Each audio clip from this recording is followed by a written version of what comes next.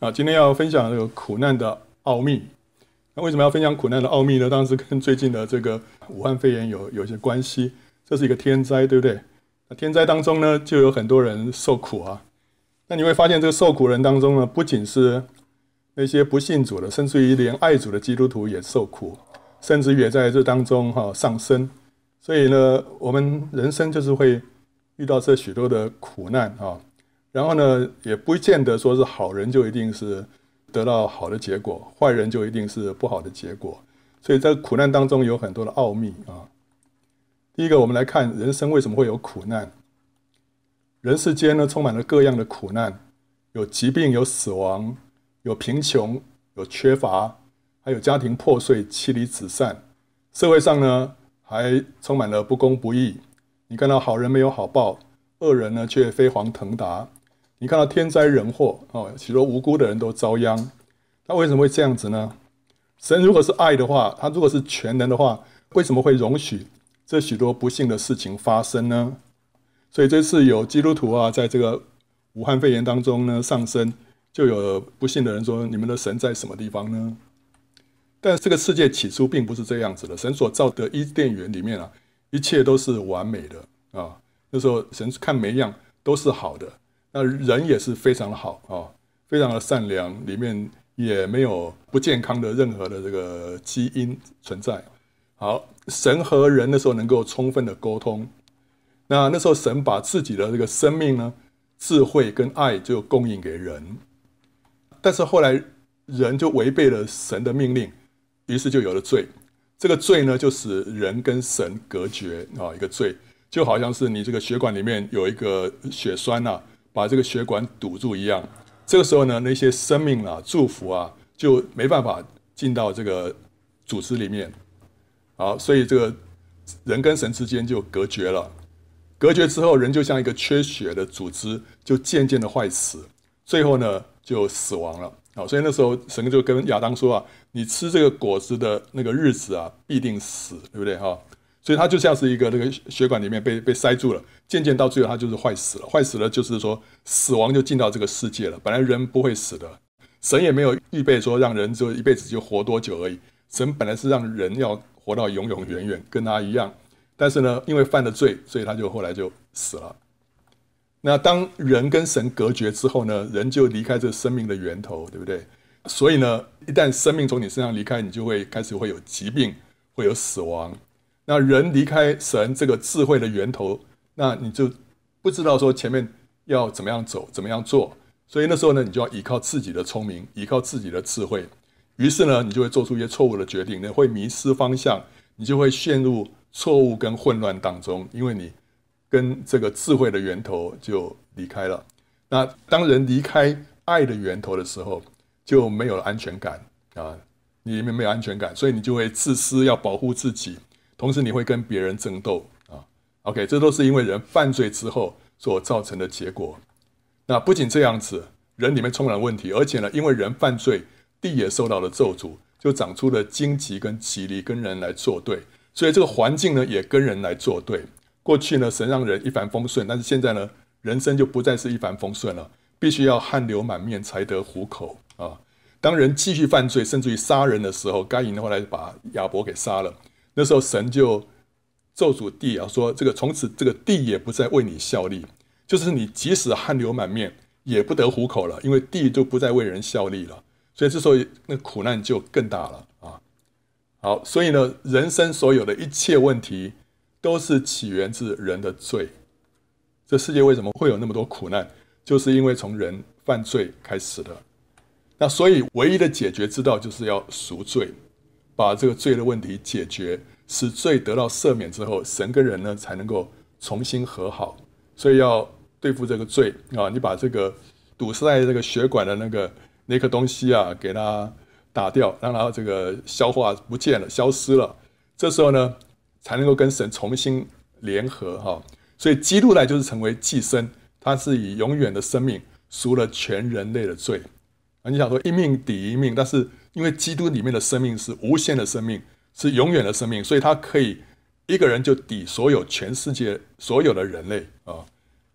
好，所以当人认罪悔改之后，他接受了基督的救赎呢，就可以与神恢复关系，然后呢，领受从神来的生命、智慧跟爱。所以呢，从这之后呢，你就可以胜过疾病，因为生命进来了；你就可以得到引导了，因为智慧进来了；你就可以有平安、有喜乐了，因为神的爱进来了。啊，所以呢，你看哇，一旦我们信主之后，这一切都恢复了，对不对？可是呢，为什么基督徒还是会有苦难？对不对？所以刚刚说起来好像是这个理论上的是是 OK，但是实际上我还是继续还是有苦难啊。为什么呢？因为第一个，因为别人犯罪，别人无知啊，我们仍然生活在一个充满罪恶的世界，会被别人的罪或者无知波及而受到伤害啊啊！即使你开车很小心开，但是旁边有人不守规矩撞到你，所以你还是会会受到伤害、受到波及，对不对哈？我们也会继承先人犯罪的后果。虽然我现在开始我就啊已经接受神的一切的祝福了，但是呢。亚当犯罪所留下在我身上那个后果还在的，我身上还是会有那个罪性，我身上还是有那个那个软弱，还是还是会衰老，还是会死亡，对不对？所以先人所做的会影响到我，甚至于我的父亲、我的祖父，他们所做的一切的决定或者什么，还是会影响到我，我还是会继承他们犯罪的后果。然后撒旦也是这个世界的王，我们有的时候也会受到邪灵的攻击啊。不仅说是受到人的伤害，有时候是受到那个是邪灵的攻击。那这个我们受苦，基督徒受苦，许多时候更是因为自己犯罪，或者是自己的无知。因为我们里面还是有那个罪性的，我们不是信主之后罪性就没有了。我们那个罪性是理论上在法律地位上已经死了，他已经被宣判死刑了。但是呢，实际上我们还是需要靠着圣灵来致死这个罪性，让这个死刑啊能够。真正的实现在我们这个人身上，在这个罪性的里面，好，那但是我们没有真的是靠圣灵来刺死这个罪性的时候，这个罪性啊，它还是一个 trouble maker，它还是会不断的制造出许多的罪行出来，它还是会继续犯罪，而且每一次犯罪就会引来不好的后果啊，所以我们还是要会继续受苦啊，因为我们还在继续犯罪当中，同时呢，因为我们自己没有天天的。行在灵里面，没有被神来引导。照理说，我们已经跟神恢复关系了，我们可以从神领受他的他的引导，他的智慧。但是我们没有跟他常常有沟通的结果呢，我们还会做出许多愚昧的决定，以至于呢，还是产生出无数的挫折跟痛苦啊。所以这是我们基督徒呢，还是会继续在苦难的当中。但是呢，非常宝贵的一点就是说，神今天会他会保守我们免受一切。无谓的苦难，因为基督徒一旦信主之后，我们就是神的儿女，神就负责我们的一生。我们所遭遇到的每一件事情，都是先经过神的手。如果这个这件事情神认为对我们没有好处的，神就不会让我们去经过这些无谓的苦难。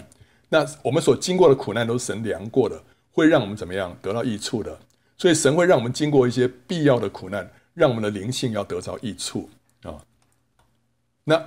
苦难会让我们得着什么益处？第一个会让我们受管教。当我们走错的时候，我们在歧路上行走的时候，借着神的这个管教啊，鞭打，会让我们回到正路上面去。所以希伯来书十二章第七节到十一节说啊：“你们所忍受的是神管教你们，待你们如同待儿子。焉有儿子不被父亲管教的呢？管教原是众子所共受的。你们若不受管教，就是失子了，不是儿子了。”万灵的父管教我们，是要我们得益处，使我们在他的圣洁上有份。凡管教的事，当时不觉得快乐，反觉得愁苦；后来却为那精炼过的人结出平安的果子，就是义。所以神会借着苦难，让我们这个人醒悟过来，让我们这个人回转。我们曾经有举过呃一些例子，特别是关于这个十一奉献啊。好了，OK，有有的基督徒认为说，这个十一奉献。是旧约的规定，新约里面已经没有这个规定了，是没错啊。但是呢，新约的照理说，我们所做的应该是高于旧约，对不对啊？那旧约那个十一奉献，应该说出一个最基本的一个要求，对神指明的一个要求，为了让那个整个祭司的这个体系能够顺利的运作。那今天呢，我们奉献是为了教会的一些施工的需要，神的国度的一些需要。所以呢，十分之一照理说应该也是一个基本的一个要求。当然了，现在在新约里面并没有这样的一个硬性的规定啊。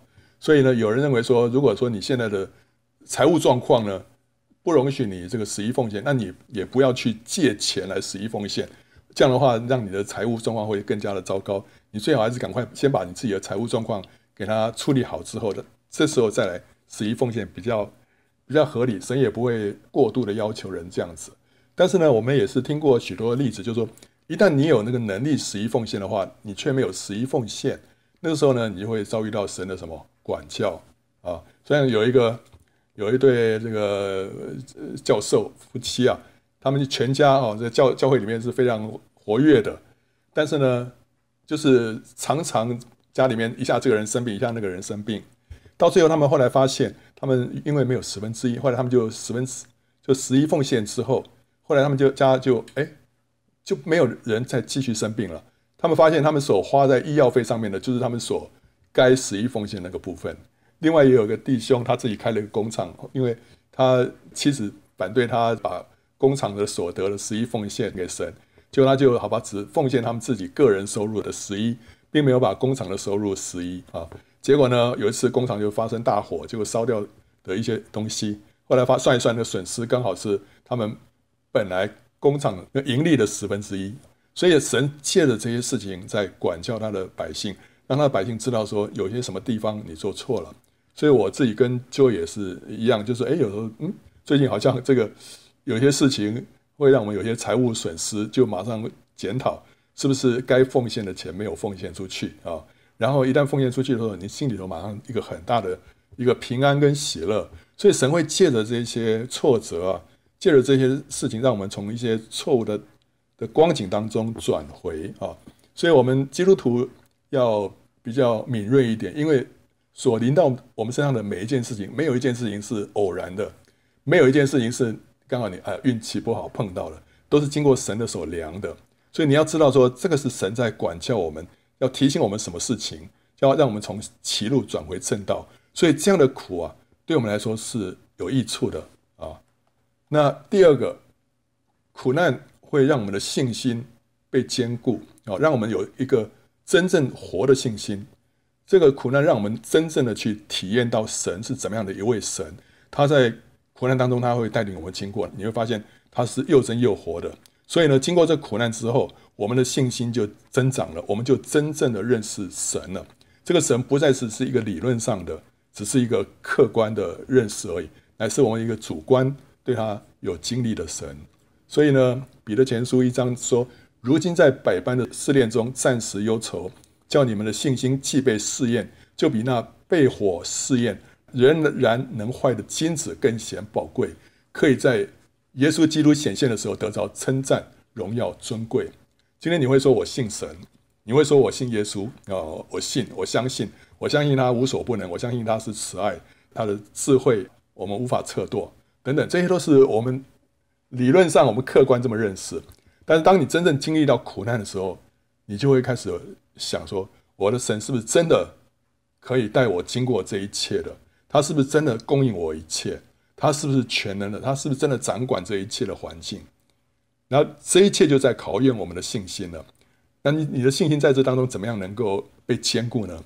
这时候你就需要常常从主得到他的话，在这当中你常常跟主交通，读主的话，那时候神的话来兼顾你，然后呢就会带你经过那一切的苦难，到最后你会发现，哎，神真的是那位蛮有能力。蛮有智慧，还有蛮有怜悯的神啊，好，所以你的信心就会被坚固了。我的弟兄们，你们若在百般试炼中，都要以为大喜乐，因为知道你们的信心经过试验，就生忍耐。但忍耐也当成功，使你们成全完备，毫无缺欠。所以我们的信心需要经过试验，这个才能够让这个神成为我们个人的神。你看到大卫，大卫那时候他没做什么错，对不对啊？他那时候在逃避。扫罗的追杀的时候，他不是因为他做了错了什么事情，现在神要管教他，没有，他没有做错什么，他是完全是扫罗要这个人犯罪，他要来追杀大卫。但是大卫在那段逃亡的过程当中，他的信心就被坚固了，他就说：“神是我的高台，他是我的山寨，他是我的避难所，他是我随时的帮助，对不对？但后来他当神救他脱离扫罗的手的时候，他写下那个诗篇十八篇，对不对啊？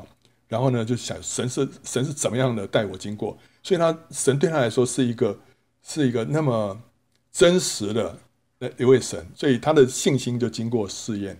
约伯呢，约伯他也没做错什么事情，但是呢，经过那苦难之后啊，他说我以前风闻有你，我如今亲眼见你啊，所以我们对神的认识就更加的深刻了。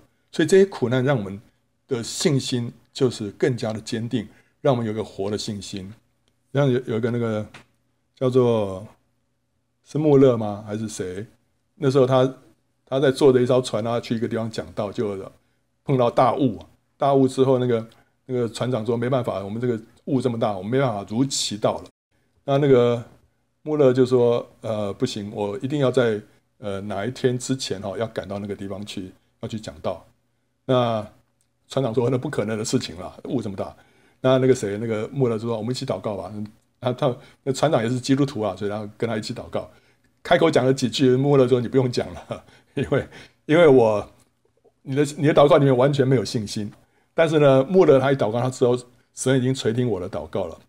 他说：‘OK，没问题，你可以如期到达。’结果他们一出去啊，看到海上本来都是充满了雾了，突然一片雾都没有了，完全都都是散开来了。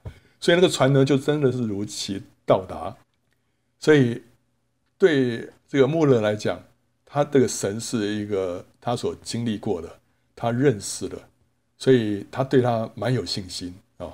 那至于这个船长，他对于这个神对他来说，还是只是一个客观的神，他对他没有一个真实的经历啊。就是因为苦难会让我们的信心得到呃试验啊。第三个，这个不仅会建立我们的信心，苦难不仅建立我们的信心。也会建立我们其他关于属神方面的性格。苦难使人呢脱离肤浅而深刻。我们如果没有经过苦难的话，我们是一个很肤浅的人。这个罗马书五章说啊，就是在患难中也是欢欢喜喜的，因为知道患难生忍耐，忍耐生老练，老练这个有的版本英文版本把它翻成 character，就是性格的意思。忍耐会让我们里面产生出一个性格，这个性格是是让我们更加老练的哈。老练生盼望，盼望不至于羞耻，因为所赐给我们的圣灵将神的爱浇灌在我们心里。神把一个真理啊启示给我们，或者是让我们知道了，就像是在一个瓷器上面啊，你这个这工匠啊在上面画一些图样，但是呢需要把它放在火窑里面，它去高温去烧、去烤之后，那个图样才会真正的烙印在那个。那个器皿上面，那所以当我们听到一些真理，我们听到看到啊圣经里面的一些东西，我们需要经过试炼啊，经经过这个苦难啊，把这个东西真正的烙印在我们的生命里面。我们知道说我们需要忍耐，对不对？但是呢，只有苦难会让你真正的学习到忍耐，不然的话，你的忍耐只是挂在嘴巴上，对不对？我们知道说我们需要爱人，但只有当苦难来到啊，当那个人成为你的一个。这一个一个十字架的时候，那个时候你才会真正的知道说什么是叫做神的爱啊，什么叫做神的爱？你要靠着神才能够去爱人啊，所以许多圣经上面这个属神的性格啊，一定要经过苦难才能够真正的成为我们自己里面的性格。所以患难会生出忍耐，让你在一个在那环境当中，你让一个神写在你身上的一个东西啊。一直能够更深的浸透、浸透、浸透，然后到最后成为你的性格啊！所以这个需要这个患难来做成这样的工作啊。还有呢，苦难会让我们被破碎，会被剥夺。我们刚刚讲到说，苦难会让我们里面增加一些东西啊，增加一些东西，增加一些属神的东西，对属神的性格哈，建立在我们的里面。但是苦难呢，也会帮我们剥夺一些东西。把我们一些天然东西啊拿走，所以苦难会使人成为无有，然后呢才能够被神自由的使用。我们里面有一些东西，其实说照天然来说，可能还是不错的。我们有我们天然的聪明，我们有我们天然的一些啊一些性格，啊感觉好像都不错啊，这是可以被神用，但是不一定。神都需要先把它破碎之后，才能够真正的来使用我们。所以有一首诗歌说：“你若不压橄榄成渣。”它就不能成油。橄榄一颗看起来好好的啊，我很漂亮，很美好。但是你要真正让它有用处的话，你需要把它压碎，压成渣之后，它才能够真正的出油啊。你若不投葡萄入榨，它就不能变成酒，对不对啊？你若不练拿达成高，它就不留芬芳。主，我这人是否也要受你许可的创伤？每次的打击都是真利益。如果你收去的东西，你以自己来代替。所以神在我们身上这一步一步了。刚刚说了，第一个神在管教我们，对不对？哈，借着苦难管教我们，这是初步的。那接着呢，神在建立我们的信心啊，信心这个是下一步的。接下来呢，还有这个呃里面其他的属神的性格啊，一个个建立起来了，加给我们。但现在神进进到更深的一步，就是要把我们一些天然的东西要拿走，要打碎，要剥夺。那这是到了一个更深的一个。一个层次了。当我们被剥夺、被破碎之后，什么东西会进来？神自己会进来啊，他会来取代我们。你看到那个雅各的一生就是这样子。雅各这个人，他充满了他的天然的聪明啊，充充满了他天然的这个能力啊。他一个人可以把这个那个井上面那个石头给他搬走，对不对啊？虽然力气很大，那时候他已经七十七岁了，他力气很大的，他也很多聪明，他可以跟那个他的这个呃舅舅斗法，他可以骗他的父亲。但是神就把他这一切都要打碎啊！到最后，他他跟这个天使啊，在在亚伯渡口那边，天使就摸他大腿，我大腿窝就是他全身最强的那个点，那个点被神一碰啊，他就瘸了。瘸了之后，就是这个人被破碎了。破碎之后，他的名字就从雅各被变成以色列，神的王子啊。然后当他说那天呢，当他从那个那边起来之后啊。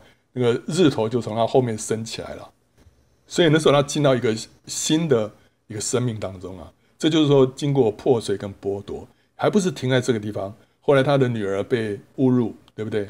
后来他的最爱的拉杰死了，然后他最爱的这个约瑟被卖了，对不对？然后他的长子呢去跟他的妾同床，所以这一切一切打击，到最后这个便雅悯也要被带走。但是到后来，你看到那个雅各，他已经他已经没有这个，他已经没有那个招架的余力了。他说：“算了算了，失去就失去了吧。”他说：“你就把这个便雅悯带去给那个埃及的那个宰相了。”哦，他那时候已经已经没有那个没有那个力气在跟神对抗了。但是那时候他生命就变得非常的成熟啊，他那时候可以为那个法老祝福啊。所以就经过这个破碎跟剥夺。就经过苦难，哦，没有这苦难的话，雅各还是那么强的一个雅各，神就不能用他成为以色列十二个支派的始祖，对不对啊？啊，第五个，我们还有一个最荣耀的，就是我们可以为主受苦啊，得荣耀。这不是因为我们犯罪，不是因为我们做错被管教啊，也不是神在我们身上要教我们什么，乃是神要我们得冠冕啊。所以受苦是得冠冕的一个途径，这是神一个。话中的祝福，所以这种这种苦难呢，哇这个不认识的人会哇，就不敢去去接受。但是你认识了，你要知道说，哇，这是自战自清的苦楚啊，要为我们成就极重无比、永远的荣耀啊。所以彼得前书四章十四节说：“你们若为基督的名受辱骂，便是有福的，因为神荣耀的灵常住在你们身上啊。”当我们为我为我们信仰的缘故。受逼迫、受苦的时候啊，他说啊，有一个结果是什么？神荣耀的灵藏在你身上啊，你会常常被圣灵充满了，哦，因为你在为主受苦啊。然后哥林多后书四章说，所以我们不上胆，外体虽然毁坏啊，内心却一天心思一天。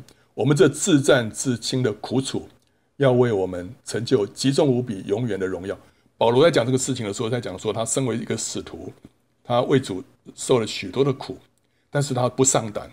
他说啊，这这些苦楚啊，要为他成就极重无比、永远的荣耀。原来我们不是顾念所见的，乃是顾念所不见的，因为所见的是暂时的，所不见的是永远的。所以基督徒要有那个眼光，看到永远，不是只看眼前暂时的。如果你看到眼前暂时的话，你就不要信主了。十二个使徒啊，除了那个卖主的之外，那个犹大之外，还有约翰之外，其他十个全部都是殉道的。你 说信主信道这样子有有必要吗？这个是荣耀，通往荣耀的道路啊！我们乃不是顾念所见的，乃是顾念所不见的。你看那个玛利亚，玛利亚神给她何等大的荣耀尊贵，对不对？让她成为基督的母亲，但是他为了这个身份啊，他需要背上一一辈子的一个一个一个苦难，怎么样？说她是一个不贞洁的一个女子，是婚前就怀孕，然后。这个生下一个私生子啊，这样，这个他要他要承受这样的一个误解，对不对？但是这个是他是为了主的缘故受苦的，这个会让他得到永远的荣耀。保罗跟希拉他们去传福音，就后来被丢在监牢里面，打了遍体成伤，对不对？为什么这样子呢？我不是在遵行神的旨意吗？这是为了遵行神的神的旨意，所以你受苦了。这当中会有极大的荣耀跟冠冕，所以我们今天要要得荣耀，一定会经过苦难这条路啊！好，所以我们要知道，哇哇，神给我给我得冠冕的机会到了，我们就不要去逃避，对不对？如果你逃避的话，保罗跟希拉逃掉了，玛利亚逃掉了，那冠冕就没有了啊！所以那个时候，那个斯蒂凡要被要被石头打死的时候啊，那个他他眼睛打开了。看到基督啊站在神的右手边啊，他就说天开，然后看见人死在那里啊。然后呢，后来这个后来他就被石头打死了。四替版的意思就是冠冕的意思，就是那桂冠。然后当他被打死的时候呢，真的是神就把一个生命的冠冕赐给斯蒂凡，所以他他的眼睛先被打开啊，让他看到呃荣耀的结局啊。所以有一首诗歌说什么？什么第一殉道哈？他看见看透坟墓的那边啊，知道说这条殉道道路背后是何等的荣耀啊！好，所以我们看到苦难带给我们什么样的益处啊？第一个，它可以让我们得管教，让我们从歧路转回；第二个，它会让我们的信心成为真实；第三个，它会建立我们其他各样的属神的性格。所以呢，不仅加给我们，同时也会从我们身上剥夺，好，让我们。成为无有，这样的话，神可以自由的来使用我们。最后，我们也可以在呃为主受苦的话，这是让我们得着荣耀的一个途径。这是苦难的益处。所以，基督徒神留着一些经苦难呢，让我们去经过，是有他美好的旨意。是我们如果不明白的话，说，哎，基督徒为什么还会受苦啊？哎，我们不是凡事兴盛吗？对不对？哦，这这个苦难是咒诅啊，不是啊。苦难是化妆的祝福，而且都是我们必要经过的啊。然后，当然，神不会让我们经过那种无谓的痛苦、无谓的那个苦难。那个有时候撒旦攻击啊，那些那些这个什么消耗我们的那个那个是那个是神不会让我们经过。所以，神让我们经过的呢，都是对我们有益处的。好，所以我们在苦难当中要有什么样的态度呢？第一个，我们要审查自己。是不是因为犯罪而遭到神的管教？如果有呢，就要认罪悔改。像我刚刚说了，哦，最近怎么好像一些事情不太顺，你第一个就要想说，我是什么地方是不是有破口啊，让神的祝福离开了啊？我什么地方我是不是偏行歧路啊？所以神借了这样的事情来管教我，所以要第一个要省察自己啊。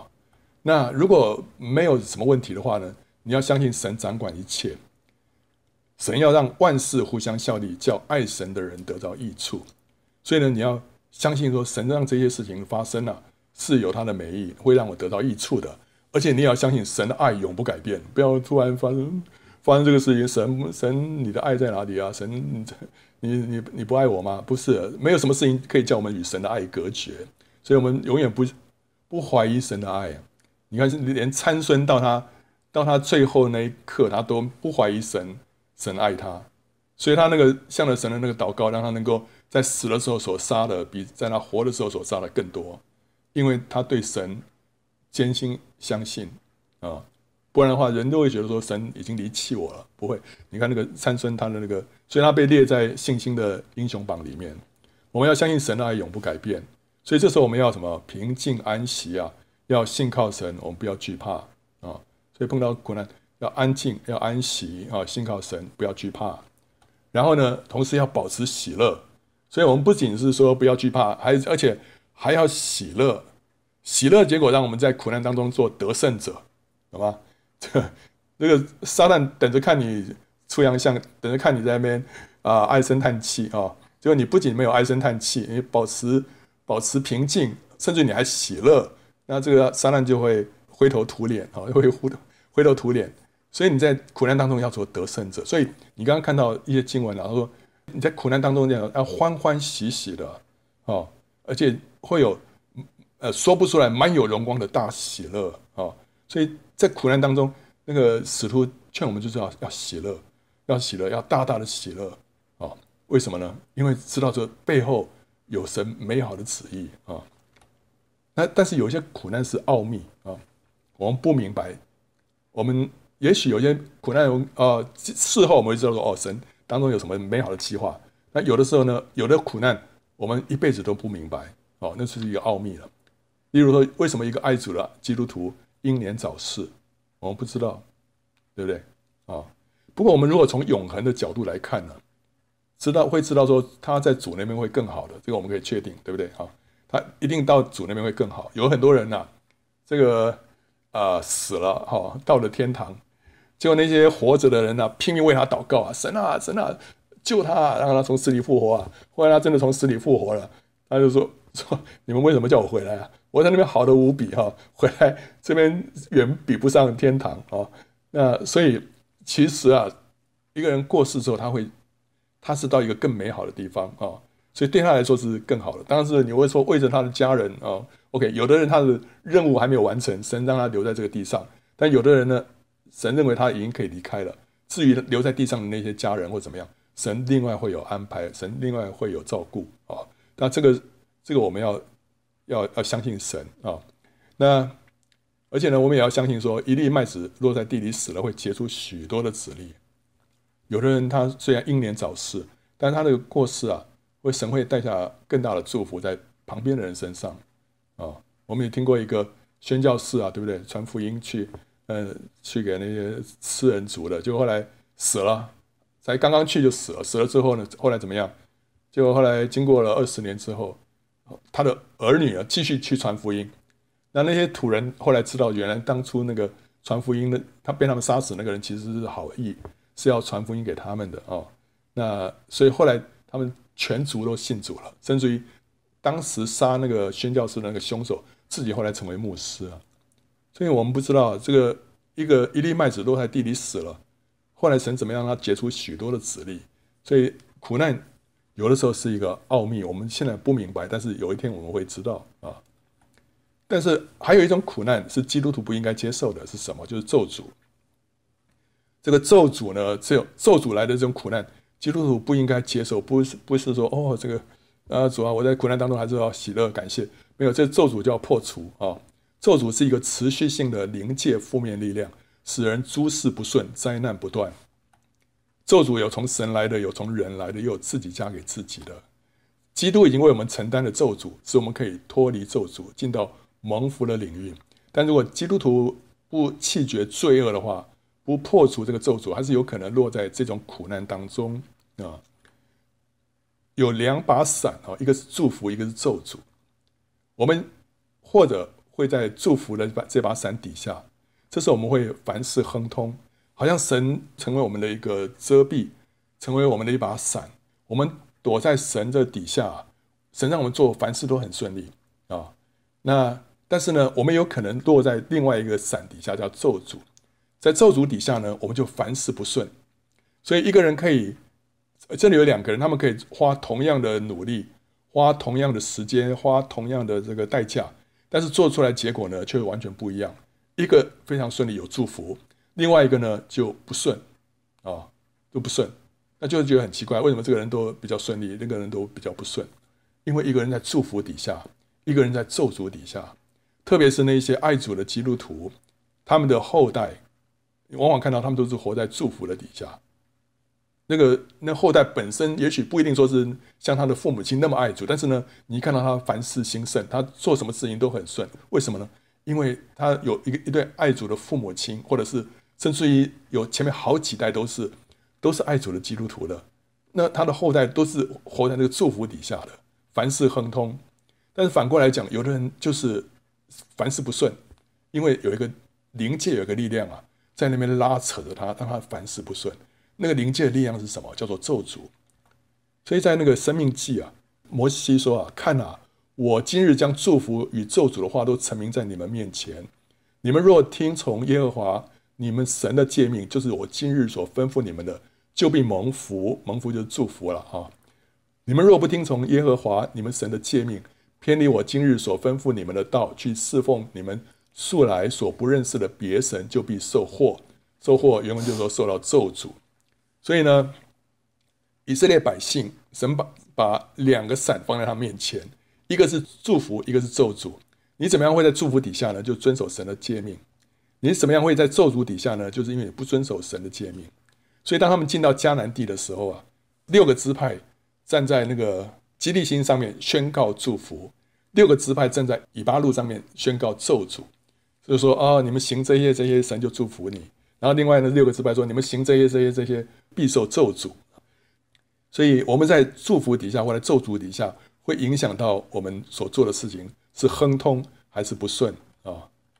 那个怎么样知道说一个人在咒诅底下有七种迹象啊？这个是这个叶光明牧师他分析出来的哈。第一个。如果你这个家族里面有精神错乱或者情绪崩溃的啊，这个就是一个迹象。那这个常常是跟拜偶像有关系的。第二个，如果是有一再性的或者长期性的疾病，特别是遗传性的疾病，这也是一个迹象。如果这家族里面有许多的不孕啊、容易流产或者相关的妇科疾病，这也是一个迹象。第四个是婚姻失败跟亲子疏离。如果你这个家族里面好多都离婚啊，哦。然后或者说是父子关系不好，父女关系不好哦，这都是一个迹象啊。然后呢，持续在财务上匮乏，不是偶尔匮乏，是持续匮乏啊。这背后可能有一个咒诅的力量。第六个，总是容易发生意外，三不五时就出车祸啊啊，这个人常常就是会出意外，这背后可能有个咒诅。第七个，家族当中有自杀、死于非命或者早逝的历史啊，那这些都是一些咒诅。运作的迹象，所以叶光明牧师有一本书叫做《你可以选择祝福或咒诅》，对这里面他就分析的很详细。但他特别强调是说，如果只有左列一两项问题还不足以确定是不是出于咒诅，但是如果有几项问题都同时出现，或者其中有一项一再重复出现的时候呢，咒诅的可能性就会增加了。不过呢，也不要疑神疑鬼哈，最后的是要靠着圣灵。就是属灵恩赐的运作，才能够提供绝对准确的判断。所以有有些人有这种这个分辨的恩赐，他可以知道说 OK，或者说是有知识的言语、智慧的言语，他会说 OK，这背后有一个什么样的一个咒诅在当中啊，需要破除的啊，那是那就最准确了。但是呢，这是一些迹象，所以有时候你会碰到一些弟兄姊妹啊，你发现哎，这个他好像有很多这类的问题。你就要开始考虑说，可不可能是背后有一个咒诅啊？那可以看看是不是有这方面的一些传道人、牧师可以帮他做一些辅导。那当然了，有的人他就光光看这个叶光明牧师的书，然后照着里面的这个一步一步做到最后，哦，里面那个咒诅就自然破除了啊。好，那这里头讲了些什么啊？呃，咒诅的来源哈，第一个有从神来的咒诅啊，神会咒诅人啊，对啊，因为圣经里面有哈。就是对于叛逆跟不敬畏神的人的审判，比方说亚当犯罪了，神就咒诅亚当啊，要汗流满面才得糊口；夏娃呢，要生产要经过许多的艰难，对不对啊？该隐呢，啊犯罪了，后来呢，地就不会给他效力，这都是咒诅啊。那同时，神也会咒诅那些咒诅亚伯拉罕的人啊啊，祝福亚伯拉罕的闭蒙祝福，咒诅他的闭蒙咒诅，包括亚伯拉罕的后裔。所以今天呢？人如果咒诅犹太人，也会被咒诅啊！所以这个叶光明牧师在他的这个书里面也有这样的例子啊。有个阿拉伯的商人，他从小就咒诅以色列人，结果后来他信主之后了，在这方面神就开启他，就破除这个咒诅之后，他就整个灵性还有事业都有一个很大的转变。还有呢，违反西乃山之约的以色列人，刚刚讲到说神跟以色列人立约啊，后来呢？啊，在那个他们进进迦南地的时候，神就跟他们讲说，如果他们遵守神的律例的话，就会蒙福；如果不遵守的话，就会受咒诅。所以那些违反这个约的以色列人呢，包括什么？就是特别在《生命记》二十七章里面提到，敬拜假神啊，不孝敬父母，欺压弱者，还有各种乱伦或者变态的性行为，这些人呢必受咒诅啊。所以，所以这些人他们咒诅是哪来的？是从神来的啊，因为因为他们不守约嘛啊，所以神就让个咒诅临到他们。还有呢，取一些当灭之物，就是他说你不可以取那个偶像上面的什么金银啊。呃，拿回家里面去，这些东西的话会让你成为当灭的，所以这是一个咒诅在那个地方啊。还有呢，不纳十一奉献，或者马拉基书里面有写，那些不纳十一奉献的呢，是当受咒诅的啊。所以这里头有有一个咒诅在那里啊。好，那还有呢，有些咒诅是从人来的，人的话语有能力，神人是按着神的形象造的，所以当人咒诅人的时候啊，这个背后是有那个力量的，我们不要轻看啊。第一个，特别是权威人物，就是父母亲、师长、丈夫、牧师，他们说的话，对于他们底下的人特别有那个有那个力量。所以那时候，挪亚对迦南的后裔发出咒诅，对不对啊？因为那个迦南父亲韩呐，把这个挪亚喝醉了、没有穿衣服的这个这个样子啊宣扬出去，就挪亚就对迦南发出咒诅，因为迦南可能是把这个消息给他爸爸说的，因为后来就再传出去了。所以迦南他就成为什么？他兄弟的奴仆的奴仆。呃，有人认为说，就是韩的后裔呢，可能是今天的非洲的人。非洲人后来真的的确在历史上都成为这个奴隶啊，啊，一直到现在，对不对？很多很多就是还是非常的落后。所以当中是有个咒诅，雅各对拉杰发出了一个咒诅，因为雅拉杰那时候把拉班的神像偷走了，然后那个拉班追过来要找，雅各就说啊。你在谁身上找到那个人就当死啊！结果呢，那个神像是在拉杰的这个账目里面，但是后来拉班没有找到啊。雅各说：“那个那个东西在谁那边，谁就该死。”就这个咒诅就临到拉杰的身上，所以后来拉杰很快的就难产而死啊。另外，那个米迦的母亲对米迦，呃，这个是在四世纪的第十七章里面的一个故事。这个米迦的母亲啊，她有些有些银子啊被偷走了。结果后来他咒诅那个小偷啊，结果后来米迦说：“啊，那是我拿去的了。”哦，那那个那个妈妈就怎么说？哦，愿耶和华祝福你。为什么？他要用一个祝福把前面的那个咒诅把它取消，哦，把它 cancel 掉，哦，不然的话，那个那个会有力量的。那另外呢，撒旦的差异，包括法师啦、道士啊、巫巫师啦、撒旦教的祭司啊，那些人他们会对人发出咒诅的。那你不要以为说那迷信了，那个那个是有力量的啊。所以那时候巴兰呢就被拿了钱啊，要他要去咒诅以色列人。如果不是神拦阻他的话，那个咒诅真的会有力量的。但后来神拦阻他了，对不对啊？然后呢，血气之言，我们在背后批评人啊，讲讲一些毁谤的话或者闲话，其实这些东西都有力量的，哦，都有力量。那个呃，夜光明牧师他自己举了一个例子，他有一次在在海外在那边呃要这个举办特会。结果呢？那天啊，这个肚子非常痛，上吐下泻。后来他祷告，怎么回事啊？后来神就启示他，那时候在在美国还是在英国，那有他认识了两个好朋友，在背后那边批评他，说对他的一些决定啊，在那边呃，在那边批评。所以这个批评呢，导致他这边拉肚子啊。所以，所以这个这个背后批评人啊，有时候会给那个当事人带带来一些带来一些攻击。我们也认识了好几个我们很熟的人呢。背后有人在说他坏话，他马上会知道的。哎，我觉得有人在说我坏话，然后哎，有人在说我什么啊？都都蛮准的啊。那为什么？就是说他有个直觉。那这些东西会在灵界里面，呃，产生一个力量，就相当于咒诅啊。那还有呢，属血气的祷告，属血气祷告，你在祷告里面控诉人，或者借着祷告来控制人。神啊，你要让他这件事情不亨通啊！呃，神啊，你要拦阻他。啊哦，神啊，你要让他怎怎往哪边做什么决定啊？有时候那个那个祷告不是合神心意的，但是呢，确实有力量。你会觉得说很莫名其妙，不是只有合神心意的祷告神才垂听吗？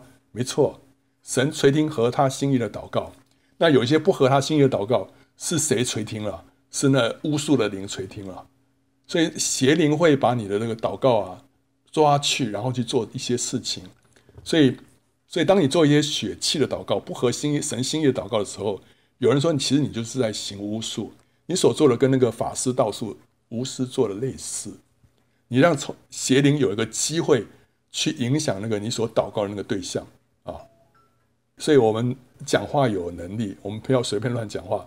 祷告，祷告也不要随便乱祷告啊。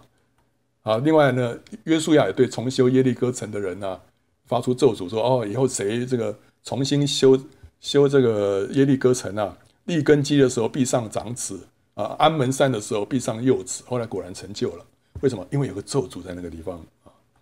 那有时候这个咒诅是自己加给自己的咒诅，自己对自己说一些负面的话啊。利百加对雅各说了啊，凡是落在你身上的咒诅都落在我身上啊，因为因为他让那个雅各去骗那个以撒嘛，对不对哈？那雅各啊害怕说：“哎呀，这样我会遭咒诅啊！”利百加说：“你的咒诅都落在我身上。”就后来利百加到他死的时候都没办法再见到雅各啊。他把一些咒诅加在自己的身上，还有求让这个耶稣定十字架的那个大祭司啊，他说：“流这人血的罪归到我们跟我们子孙的身上。”就后来果然呢，那个流耶稣血的罪就归到那个后来那些犹太人的身上。他们两千年来这流离失所。对不对啊？没有人可以咒诅犹太人，除了他们自己咒诅自己之外。所以，当他们自己把这个咒诅加在自己身上的时候，他们就在那个咒诅的底下。彼得三次发咒起誓啊，说我不认识这个人。就后来，他就是把一个咒诅加给自己。那但是后来主耶稣说：“彼得，你爱我吗？”那三次问彼得，彼得三次说：“是是，我爱你啊。”所以主耶稣是借着这样子来。cancel 来取消彼得加给自己那个咒诅，还有呢誓约，有时候你加入一个团体啊，说我如果不怎么样怎么样啊，这个会遭受什么样什么样的这个灾殃审判。你有时候起了一个誓啊，就把自己落在那个咒诅的底下啊。共济会也有这样的现象啊。好，那我们需要破除这些咒诅，这些因咒诅来的苦难不是神要我们受的，在咒诅底下这个苦难。对我们来说没有没有建设性的意义的，所以我们要破除这个咒诅。主耶稣已经为我们受了咒诅啊，或者说成了咒诅，就赎我们脱离律法的咒诅。因为经上记着说，凡挂在木头上的都是被咒诅的，所以主耶稣已经为我们承受了这个咒诅。所以很多基督徒说：“哎，主耶稣已经帮我们承担承担这个咒诅了，我们怎么还会在咒诅的底下呢？”会啊，为什么？就像是基督已经为我们受了鞭伤，使我们得到医治，对不对？可是，并不是所有的基督徒就自动会得到医治，对不对？哎，不是主耶稣已经为我们受了鞭伤，使我们得医治吗？对不对？照理说，那我我什么都不用做，我就可以得到医治，不是？我们还是要做一些事情啊。所以呢，主耶稣为我们承担的咒诅，也不是每一个基督徒就会自动的脱离咒诅。我们需要怎么样？我们需要认识真理，我们需要凭信接受这个真理，然后呢，靠着圣灵使这个真理。实化在我们的身上，主啊，你你的因你受的鞭伤使我得着医治啊！我为这样的一个真理祷告，祷告，祷告，祷告到一个地步啊，圣灵在我里面啪一个启示，一个光啊，让这句话亮起来，让这句话成为神个别对我的一个应许了。那时候我就知道说，我得医治了，我得医治了。那一样的咒诅也是一样，咒诅你要你要知道说，哦。原来，原来我背后有这个咒诅，那这时候呢，我需要，我需要接受主耶稣在我身上所所成就的，他帮我担当了这个咒诅，然后呢，我就破除这个咒诅。所以呢，破除咒诅可以分成七个步骤。第一个，承认你相信基督，还有他为你所做的牺牲，啊啊，所以你要承认、接受、接受他为你所做的。第二个，为你所有的叛逆行为跟罪悔改。因为这些行为使你落在这个咒诅的底下，所以你要为这些事情悔改啊。然后呢，恳求神赦免你这一切的罪。然后呢，你要宽恕所有曾经伤害或者虐待过自己的人，就是包括那些用言语在咒诅你的人啊。你不要说哦，原来是他咒诅我，害我这样子的一生过得这么这么凄惨。有的那个牧师说哦，你离开我们。这个教会，你出去不会亨通啊，神会惩罚你啊什么的。就出去之后真的是不亨通，因为被那牧师咒诅，牧师是一个权柄嘛。但是在他说，你第一个你需要宽恕他，那些曾经伤害过你，你要宽恕他，这样你才能够从那咒诅的底下出来啊。还有呢，要弃绝跟秘术或者是撒旦有关的任何的联系，这些东西会让你落在咒诅的底下的。然后要做一个从咒诅得释放的祷告，这祷告其实就是就是把刚刚这个一到一到六啊，全部就是把它化成一个祷告啊啊，最后就是相信领受，并继续留在神的祝福当中。你要看详细的话，就看圣经简报站这个祝福跟咒诅这一篇啊，里面也讲说怎么祷告啊。好，那有人就这样子啊，那个被那巫师啊咒诅，结果后来呢，那个姊妹就就看了这个教材啊。就后来就照着里面这个祷告，一祷告完说：“哎，这个身体这个不药而愈啊！”所以，所以这个的确是有咒诅。然后呢，的确我们需要破除啊。所以这个东西是这当中的这个苦难，神不要我们经过，神要我们破除它啊。啊，最后我们要看，我们要怎么样来看待天灾？天灾带给我们很大的苦难，对不对啊？啊，从去年底了啊，这个澳洲野火。去年九月开始到今年的一月之间，澳洲东南部爆发了有史以来最严重的丛林大火，共烧毁了五千九百多栋建筑物，三十四个人死亡，共有数十亿动物在这场大火当中丧生。啊啊，我们我们有讲这个关于这个山火，从山火看末日，我们有提到这些事情，还有它的意义。好了，那这个一直烧烧烧烧到一月，烧到一月之后，终于下大雨了哈，像话把这个火给扑灭，可是。下完雨之后变什么？变成水灾啊！这个所有这些房子都泡在水里面，所以一下子先是火灾，后来又是水灾，到底是怎么一回事？神在说什么话？然后东非呢发生蝗灾，从去年十二月到现在，东非东北部遭到数十亿只蝗虫的肆虐，啃食光成千上万英亩的农地。这是伊索比亚和索马利亚二十五年来。最严重的一场蝗灾啊，蝗虫入侵。肯亚呢是七十年以来没有见过这么严重的蝗灾啊！你看下面这个，这个都是哇，这个蝗虫真的多到无法想象啊。然后呢，中国发生这个武汉肺炎，现在称被称呃称为叫做新冠肺炎了哈。就是去年十二月在武汉爆发之后，到目前全中国已经有四万五千个人确诊，一千一百个人死亡。呃，这个数字其实有人认为说后面应该再加个零，因为这些数字可能都没有正确的反映出真实的状况。好了，那超过八十个城市进入封城的状态。好，这些都是天灾。但是天灾当中呢，有基督徒死了，啊，有非基督徒死了，这到底是怎么回事？圣经里面的天灾包括地震、旱灾、饥荒、蝗灾、瘟疫、洪灾、火灾。风灾等等都是神对人类的审判，另一方面也是作为末日将至的警讯。神不仅借着天灾来惩治被约的以色列人，在生命记二十八章里面讲到说：，呃，你们如果被约，如果你们就不说遵守神的诫命的话呢，呃，这些灾都会临到你们。所以，因为神跟以色列人当中有立约嘛，对不对哈？那所以当以色列人被约的时候呢，神就用天灾来惩罚他们。那至于以色列人以外的那些外邦人呢？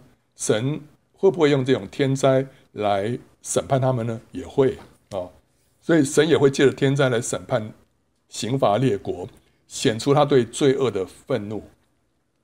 所以神跟以色列人之间的那种关系，其实只是给我们看到一个样本，让我们知道说神的性情怎么样，知道说神的法则怎么样。所以呢，他跟以色列人之间的互动啊，其实也可以应用在他跟列国之间的互动啊。啊，我们看到地震，地震在圣经里面往往是伴随神威严的同在，比方在西乃山神降临的时候，那个地大震动啊。另外，它也象征神的审判。启示录羔羊揭开第七印的时候，还有天使倒下第七碗的时候，还有两个见证人复活升天的时候，都发生大地震，这都是象征神降下审判。那旱灾呢，也是旱灾，在亚哈年间，神因为以色列人拜偶像而降下三年半的旱灾。在千禧年当中呢，凡不上耶路撒冷去过祝棚节的列国会遭到旱灾，所以旱灾也是神的审判。饥荒也是大卫年间，神因为扫罗家流了畸变人的血而降下三年的饥荒。蝗灾呢，在约珥书还有阿摩斯书里面都提到神降蝗灾来审判以色列人。埃及十灾当中有一灾也是蝗灾啊，瘟疫啊，瘟疫我们现在看到了，报恶性的十个探子都死于瘟疫啊。会中因为可拉事件攻击摩西亚伦，就有一万四千七百个人遭瘟疫而死，所以这是神的审判啊。还有以色列人进迦南的时候，跟巴利毕尔联合行营拜偶像，就有四万两千个人死于瘟疫啊。大卫数点百姓，就招来瘟疫，死了七万个人，这些都是神的审判。埃及十灾里面，神以瘟疫来击杀牲畜，审判埃及地，所以很明显的，瘟疫是什么？是神的审判。洪灾，挪亚的时代，神以大洪水来毁灭全地。火灾呢，在罗德的时代，神降天火毁灭所多玛、俄摩拉。风灾呢，在以赛亚书二十九章第六节说：“万军之耶和华必用雷轰、地震、大声、旋风、暴风，并吞灭了火焰，向他讨罪。”所以风灾也是神的审判啊。天灾既然是神对人类的审判，显出他对罪恶的愤怒，人面对天灾的态度是应该什么？就应该是认罪悔改，对不对？所以当我们碰到一个天灾的时候，我们怎么样？怎么样去面对它？圣经里面告诉我们的原则就是要认罪悔改啊，这才是解决问题的那个症结啊。所以那时候，那个摩西对亚伦说啊：“拿起你的香炉，把坛上的火盛在其中，又加上香，快快带到会众那里，为他们赎罪，因为有愤怒从耶和华那里出来，瘟疫已经发作了。所以那时候，因为那些人啊攻击摩西亚伦，就神让瘟疫爆发。”所以亚伦呢，就拿着香炉，加上香，为老百姓赎罪。照理说，赎罪不是拿香炉赎罪，赎罪应该是是献祭才赎罪的。但是用香炉去赎罪的意思，就是说为百姓认罪代祷，认罪代祷，这是拿香炉去去赎罪的意思。所以亚伦就照着摩西所说的拿来，跑到会中，不料瘟疫在百姓中已经发作了，他就加上香，为百姓赎罪。他站在活人死人中间，瘟疫就止住了。左边的是死人，右边的是活人。亚伦站在中间了，结果呢，瘟疫就止住了。所以亚伦他是象征什么？他象征今日的代祷者啊。有人说亚伦是象征基督了。亚伦在某些方面象征基督，但在这件事情上头，亚伦在这边是讲的是今日的代祷者。因为这个代祷的缘故，让那个死亡的权势啊就止住了，就停在左边，没有没有去。碰到右右边的这群活人啊，所以这个代祷者他代祷什么？赎罪啊，拿着香炉赎罪啊，就是什么认罪的祷告啊，认罪的祷告啊。所以神在那个在历代之下第七章啊这边说了，那个时候对所罗门说啊，因为所罗门建了圣殿了，然后神就说了：我若使天闭塞不下雨，或使蝗虫吃这地的出产。或使瘟疫流行在我名中，这称为我名下的子民，若是自卑祷告，寻求我的面，转离他们的恶行，我必从天上垂听，赦免他们的罪，医治他们的地。啊，所以有天灾啊，有旱灾啦，蝗灾啦，有瘟疫啊，那怎么办？他说有一些人要起来祷告啊，谁啊？称为我名下的子民那一些人呢？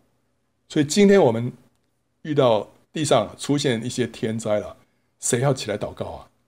教会，教会要起来祷告，然后呢，自卑祷告，寻求我的面，转离他们的恶行。可是我没有犯罪啊，是我的百我的同胞犯罪啊，所以你要为他们认罪啊，哦，让神可以什么赦免他们的罪，之后呢，就医治他们的地。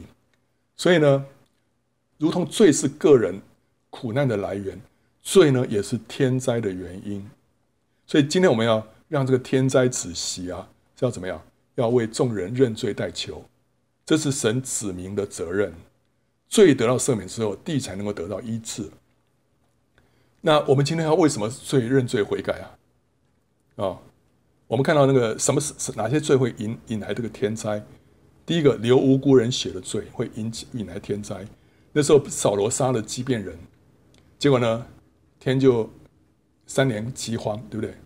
所以流无辜人血的罪会引来这个神的审判，接着天灾。还有呢，亚述人残暴杀人，所以那时候约拿到到亚述那边去去传道啊，就说神的审判要临到这里了啊。神的审判要临到这里。为什么？因为亚述人残暴啊，他们对待列国的人呢，非常非常的残暴的，他们流流无辜人的血啊，所以这个事情会会让神降下审判的。好，那今天呢？今天我们要为啊，今天为着武汉肺炎，我们需要为什么事情认罪悔改啊？流无辜人的血的罪罪啊！我我看到有个网友他在从大陆啊，他就告诉我，他认为说，中国需要为什么事情悔改？